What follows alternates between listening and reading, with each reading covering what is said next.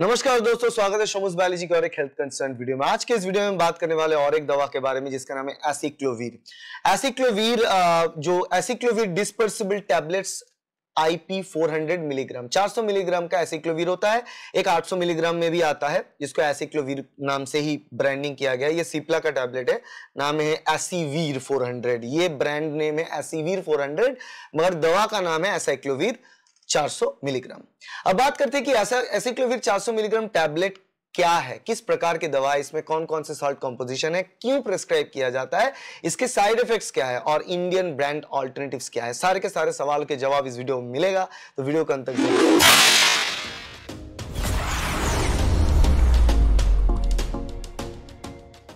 तो चलिए शुरू करते हैं कि एसाइक्लोवीर, जिसको एसीवीर 400 सिप्ला ने बनाया, एसाइक्लोवीर 400 डिस्पर्सिबल टैबलेट, ये किस प्रकार की दवा है? ये एक एंटीवायरल दवा है। जैसे कि एंटीबायोटिक्स आता है एंटीबायोटिक एक प्रकार की दवा है जो बैक्टीरिया को मारता है और बैक्टीरियल इन्फेक्शन से हमको छुटकारा दिलवाता है। उसी तरीके से यहाँ पे एसाइक्लोवीर जो एक एंटीवायरल दवा है, जो वायरस को मारता है और हमें वायरल बीमारी से छुटकारा दिलाता है। मगर इस दोनों के काम करने के तरीके में बहुत अंतर होता है।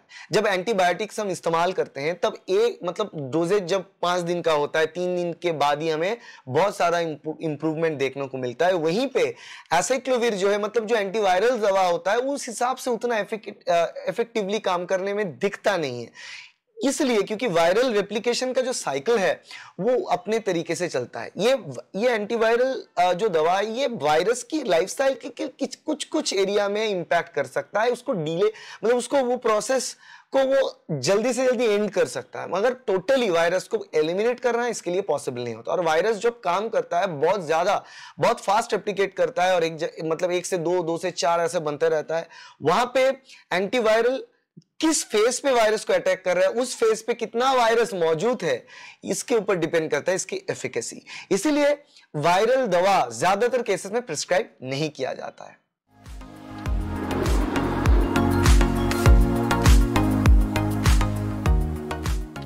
अब बात करते हैं सॉल्ट कॉम्पोजिशन की तो इसमें क्या है? एसाइक्लोवीर एसाइक्लोवीर जो जो भी प्रकार की दवा आप देख लो, जहाँ पे एंड में, अंत में वी आई आर विर लिखा हुआ है तो जनरली वो एंटीवायरल दवा होता है। तो एसाइक्लोवीर गैंग साइक्लोवीर ऐसे अलग अलग होता है।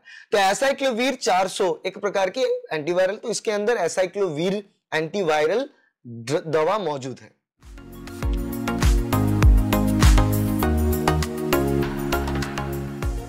अब बात करते हैं कि एसिक्लोविर किस प्रकार की इंफेक्शन में दिया जाता है। देखो वायरल इंफेक्शन में दिया जाता है।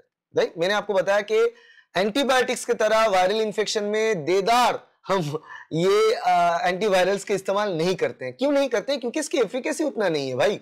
क्योंकि एंटीबायोटिक जब काम करता है ना, दिखता है कि ये काम हो रहा है। लोग अच्छे फील करते हैं बैक्टीरिया मरता है, ठीक होता है टिश्यूज मगर वायरस जब काम करने लगता है तो वायरस की जो नॉर्मल लाइफ साइकिल है ना, अगर वो तीन दिन की लाइफ साइकिल है तो उस हिसाब से तीन दिन में वो रिजॉल्व होगा। अगर सात दिन की लाइफ साइकिल है, सात दिन की फीवर होता है लोगों में, बुखार, उसमें सात दिन में वो एंड होगा। चौदह दिन का है तो चौदह दिन में, जैसे कि कोविड था, चौदह दिन, बीस दिन उस हिसाब से वो एंड होता था।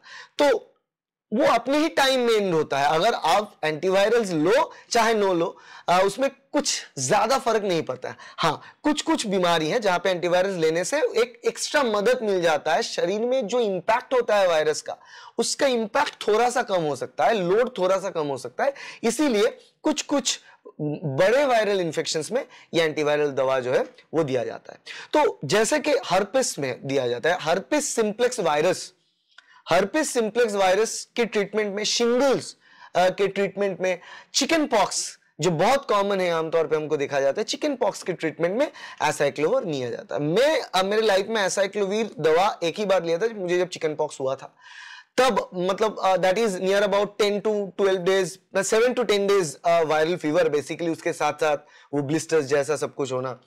तो वो तब ऐसे क्लोवीर मैंने लिया था और इसमें देखो एक पैकेट में ना पाँच आता है। तो इसको इस हिसाब से दिया जाता है जनरली दिन में दो करके पाँच दिन, या फिर हो सकता है तीन करके दे पाँच दिन, या फिर दिन में दो करके दे सात दिन, दस दिन, इस हिसाब से अलग अलग डिपेंड करता है किस प्रकार के वायरल इन्फेक्शन में आप उस हिसाब से इसको दिया जाता है। तो मैंने खास कुछ फ़र्क देखा ऐसा नहीं कि मेरा जो, मुझे जो चिकन पॉक्स हुआ तो तीन दिन में ठीक हो गया, ऐसा नहीं हुआ।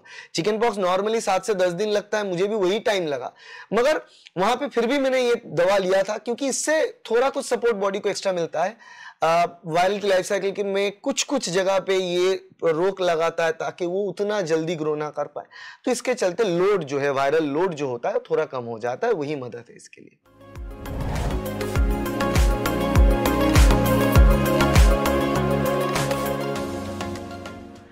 अब बात करते हैं कि एंटीवायरल जो ड्रग है एसाइक्लोवीर इसके साइड इफ़ेक्ट के बारे में। देखो, इसके साइड इफेक्ट्स भी है।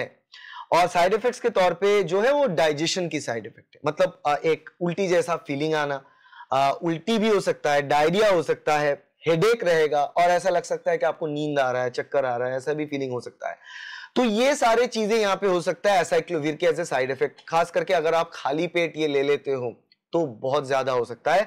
इसके लिए खाने के साथ ही इसको लेना चाहिए आफ्टर फ़ूड आपको इसको लेना चाहिए, खाने से पहले बिल्कुल लेना नहीं चाहिए एसाइक्लोवीर